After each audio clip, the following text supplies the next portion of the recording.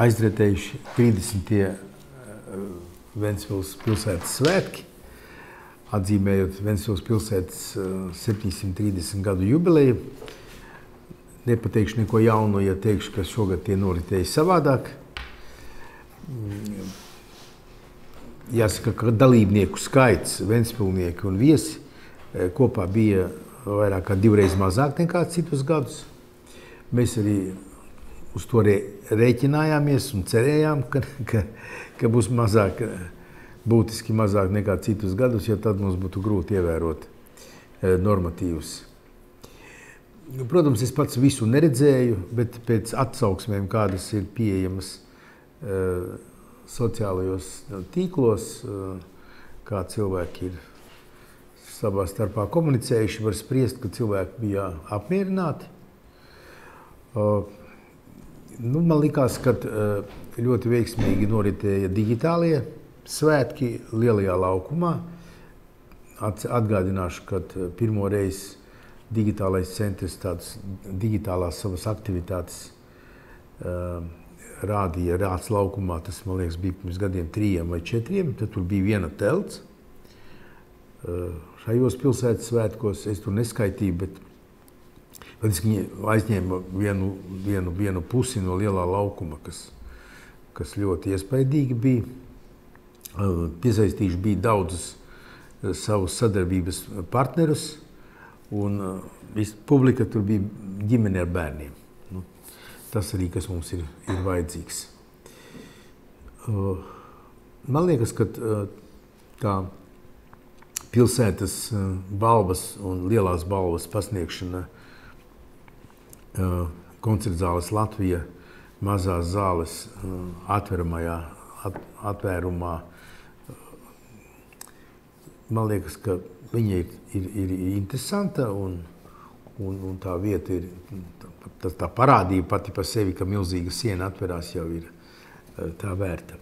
Bet man liekas, ka tur var būt arī diskusija vai, vai, vai saglabāt, ka šajā vietā vai arī atgriezties atpakaļ pie rātslauku.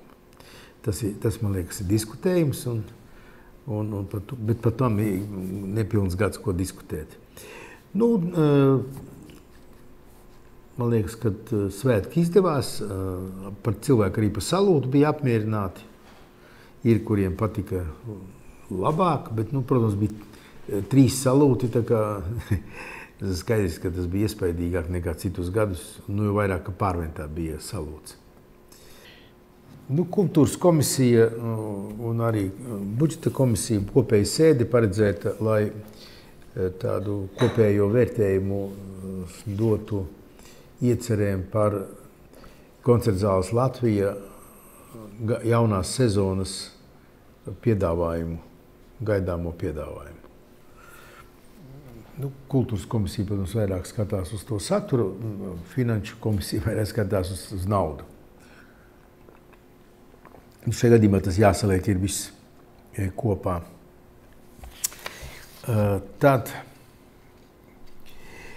Ventspilī bija pasaules līmeņa eksperts, kas vērtēja Ventspils futbola laukuma kvalitāti. Gordons Hovats pārstāv sporta konsultu un grupas uzņēmumu STRI, nu, kas ir vadošais pasaulē. Un, uh, nu, tas bija tāds, tas tāds liels gods, ka vispār atbrauc uz Latviju, vērtēt futbola stadionu un taisni Ventspili. Nu, pa Ventspili saprotams, Ventspils futbola klubs ir startējis arī izslēgšanas spēlēs UEFA kausā. Uh, nu, ne čempioni, bet kausā. Nu, bet tas ir augstākais sasniegums klubiem Latvijā. Uh, Nu, un, un viņš teica, ka viņam interesē, interesējas ir, kā tik tālu uz ziemeļiem, kādā stāvoklī vispār ir futbola laukumi. Un, un tā, un viņš, nu, piemēram, futbola laukuma cietība, mīkstums, mitruma līmenis tika vērtēts 105 futbola laukuma punktos. Tā kā tas vērtējums bija ļoti, ļoti vispusīgs. Tāpat arī noteica zālienu izturību pret bučo, bučiem, nu, kad bučos spēlē futbolisti. Nu, un laistīšanas sistēmu arī pārbaudīja. Nu, gala slēdziens nav, bet viņš ir izteicis tādu dziļu cieņu un izbrīnu par sporta infrastruktūru Ventspēlī, ka tas viņam bija liels pārsteigums, ka kaut kas tāds, kaut kas tāds tik tālu uz austrumiem no rietumiem var būt. Tā kā gaidīsim to gala slēdzienu. Nu, rīt uh, noritēs Vislatvijas 11. nojošanas festivāls – Nu, Droši vien, ka cilvēku būs mazāk nekā citus gadus. Parasti bija ap 300. Bet nu, mēs tos, tos svētkus rīkojam, lai popularizētu veselīgu dzīvesveidu, kustīgu dzīvesveidu. Un nojošana ir pieejama jebkuram. Tur nav jābūt speciālai sagatavotībai. Kaut gan tehniski pareizi nojot, ir jāprot, un tas ir jāmācās. Daudzi no tiem, kas nojo, to neprot darīt. Tie, kas to, to prot, tie uzreiz ievēro, kuri, kuriem klibo tehnika. Vienkārši, ja klibo tehnika, tas nozīmē, ka pirmais, kas nestrādā, tā ir roku un plecu daļa. Pienācīgi. Nu, startē eh, divos, divos, eh, divos apļos. Viens, viens aplis ir 5,3 km, un divi līdz ar to 10,6 vērtējums divās vecuma grupās, un, eh, un vērtē arī, arī komandas. Un, un vērtē ir arī apģērba skate, nu, un arī tehniku vērtē. Nu tā. Sākums ir 11. un, un, un apbalvošana varētu būt ap vieniem. Tā. Nu, noslēgusies vakar, vakar, vasaras digitālā skoliņa digitālajā centrā. Katrā plūsmā bija kādi 120 līdz 150 bērni. Tad 500 kopā ir apmeklējuši. Nu, es varbūt nu, no, nolasīšu, lai būtu saprotams, cik daudzveidīgs ir piedāvājums. Jo digitālais tas skan tā izplūdis. Tad tur bija robotika, programmēšana, digitālā mājturība, digitālā māksla un animācija, digitālā skaņa, digitālais video un foto, STEM nodarbības, minikrafta nodarbības nu, un citas. Nu, jāsaka, mums ir speciāla datorprasmu apguves veicināšanas programma. Gadā mēs tai tērējam 300 tūkstoši eiro. Nu, galvenais uzsvars ir uz, uz skolu jaunatni un dažādiem pulciņiem. Pagājušā, pagājušā mācību gadā bija ap 700 skolnieku gāja šajos pulciņos. Nekur pasaulē tāda, tāda pieredze nav. Tad uh, Reņķa dārzā, jeb Reņķes dārzā, ja tā pareizi viņu saka, uzstādīti jauni trenažieri un labi iekārtos trenažieru laukums. Vecie bija savu mūžu nodzīvojuši. Tad uh, tur ir septiņi ārā trenažieri, nu, kā es teicu, labi iekārtojumi, kur, kur vajag. Tur arī ir tas uh, gumijotais iesegums.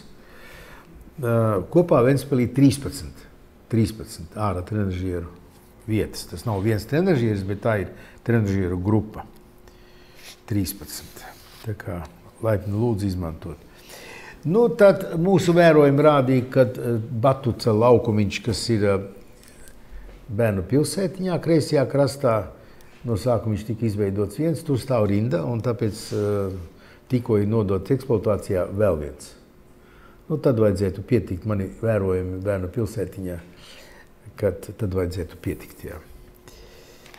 Nu, starp citu, šo, šo, te jauno batutu mēs izbūvējām par to naudu, ko saņēmām uh, 6000 eiro kā ģimenei draudzīgākā pašvaldība 2019. Bija tāda naudas balva, jo mēs tikām novērtēti kā ģimenēm kultūrā un zinātnē pieejamība modernākajām IT aktivitātēm. Nu, tad mēs atbalstam Ukraiņu kultūras dienas. Sestdien ir 11. ir tirgū un 16. bērnu pilsētiņā. Nu, ir, mūsu ukrāņiem, Ventspils ukrāņiem ir arī ciemiņi no Igaunijas, tad no Rīgas, Ventspilnieki, protams, ir mūsu paša ansamblis Mrija, nu, un solo dziesmu izpildītājs Sandis Mārtiņš Caune, nu, kas pēc uzvārdas spriežot varbūt nav Ukraiņas, bet nu, tas netraucē dziedāt Ukraiņu svētkos. Nu, mums ir tradicionāli uh, Nacionālo kultūru biedrība asociācija veidot, atcerieties Saules vairagu un veselīgi citu pasākumu, kur piedalās daudzas biedrības. Nu, bez Ukraiņiem mums ir ļoti aktīva arī Baltkrievu biedrība, tikko bija viņiem Baltkrievu kultūras dienas, arī uh, Krieviju biedrība aktīva ir.